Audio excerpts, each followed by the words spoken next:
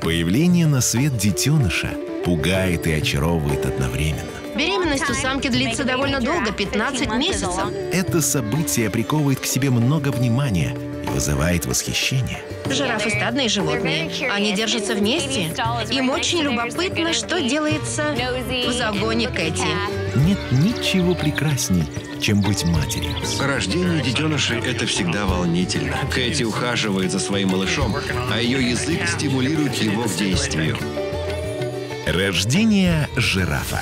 8 ноября в 18.30 на телеканале «Зоопарк».